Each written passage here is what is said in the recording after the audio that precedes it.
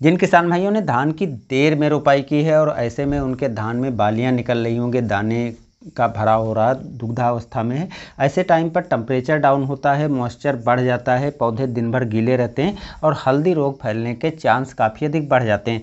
अगर हल्दी रोग फैल जाता है तो धान की गुणवत्ता खराब होती है, उत्पादन भी कम होता है। कोई भी रासायनिक दवा ऐसी नहीं है जिससे हल्दी रोग पर पूरी तरह से कंट्रोल हो पाए।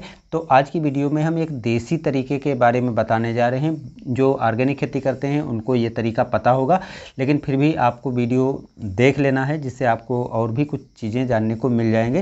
लेकिन जो रासायनिक खेती करते हैं, वो रासायनिक दवाओं को ज़्यादा डालते हैं। यहाँ पर रासायनिक दवाएँ कोई काम नहीं करती हैं, ये चीज़ आपको ध्यान रखना है। अगर रासायनिक दवाएँ डाल भी देते हैं इस टाइम पर तो धान की गुणवत्ता ख़राब होती है, और यदि आप कोई कॉन्टेक्ट बेस वाली दवा डालते हैं तो गुणवत्ता ख़राब होगी, सिस्टेमिक दवा डालेंगे तो वो जो है, उसके लक्षण जो हैं, दाने के अंदर चले जाते हैं, जिससे क्वालिटी के साथ साथ स्वास्थ्य को भी नुकसान पहुँचता है। तो देसी तरीके को यदि आप अपनाते हैं तो किसी तरीका का आपको नुकसान नहीं होने वाला है। ना तो गुणवत्ता खराब होगी और ना तो किसी तरीके का स्वास्थ्य पर भी विपरीत प्रभाव पड़ने वाला है। ये देसी चीज़ें कौन कौन सी चीज़ें लेनी है, ध्यान से आपको देखना है, ध्यान से नोट कर लेना है और उसी तरीके से उसी बेस पे आपको स्प्रे करना है जिससे आपके धान में जो हल्दी रोग जैसी समस्या है वो आसानी से कंट्रोल हो पाए। इसके पहले आपको छोटा सा काम करना है, बस चैनल को सब्सक्राइब कर लेना है, बेल आइकन दबा देना है जिससे आने वाली वीडियो भी देखने को मिलती रहेंगी। देखिए, आपको जो चीज़ें मैं बता रहा हूँ, इसको आप नोट कर सकते हैं या ध्यानपूर्वक दोबारा भी देख सकते हैं वीडियो।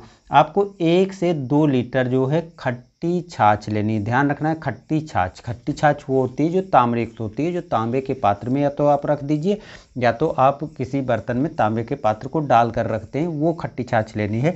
अगर ऐसी खट्टी छाछ आपके घर पर नहीं है तो आपके घर जो भी छाछ है, नॉर्मल छाछ है, उसमें जो है पचास ग्राम कापर ऑक्सी क्लोराइड मिला लेना है, इससे ज़्यादा मात्रा नहीं लेना है, नहीं तो उसका विपरीत प्रभाव जो है धान की फ़सल पर दिखाई पड़ेगा। 50 ग्राम लेना है, जिससे खट्टी छाछ का जो फार्मूला रहता है, उसी फार्मूले पर आपकी ये छाछ तैयार हो जाएगी। ताम्रयुक्त छाछ को आपको बनाने की ज़रूरत नहीं है, इस तरह से आप तैयार कर सकते हैं। अब इसके साथ में यदि आपने एक लीटर छाछ लिया है तो आपको दो लीटर गौमूत्र ले लेना है। अगर आप दो लीटर छाछ लिया है तो आपको तीन लीटर गौमूत्र ले लेना है। इससे ज़्यादा मात्रा आपको नहीं लेनी है। और ये एक बार स्प्रे करने का फार्मूला है। ये सभी चीज़ों को आपस में मिक्स करके 200 लीटर के पानी के टैंक में आपको एक साथ घोलना है। अलग अलग घोलना नहीं है, नहीं तो कम ज़्यादा मात्रा हो जाती। तो एक साथ घोलना है या थोड़ी सी मात्रा 10-15 लीटर पानी में इसको घोल लीजिए और उसके बाद जब भी आप 200 लीटर पानी लें तो उसके साथ एक निश्चित मात्रा में डाल करके और टंकी में भर करके स्प्रे कर दें। स्प्रे करना है जब खेत में नमी ना हो, दोपहर के बाद करना है, आठ से दस घंटे के पहले बारिश होने की संभावना ना हो, तब आपको स्प्रे करना है। एक बार स्प्रे करने के पाँच दिन के बाद दोबारा यही तरीका आपको फिर से अपनाना है।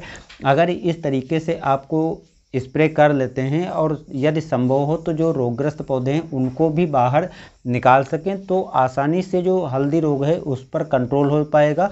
और दो बार यदि आप स्प्रे करेंगे तो जो हल्दी रोग है, बिल्कुल नहीं फैलेगा और अगर हल्दी रोग के अतिरिक्त कोई दूसरा भी फफूंद जनित रोग बीमारी दिखाई पड़ता है तो उससे भी बचाव हो पाएगा। बस ध्यान रखना है, अच्छी तरह से आपको पूरे बाली को तर करना है और दोबारा ज़रूर डालना है। दोबारा नहीं डालोगे तो आपको इतने अच्छे रिज़ल्ट नहीं मिलेंगे। लेकिन दोबारा डाल दोगे तो हल्दी रोग जैसी समस्या बिल्कुल आपके खेत से ख़त्म हो जाएगी और आसानी से आपकी गुणवत्ता बनी रहेगी और अच्छी पैदावार मिल जाएगी।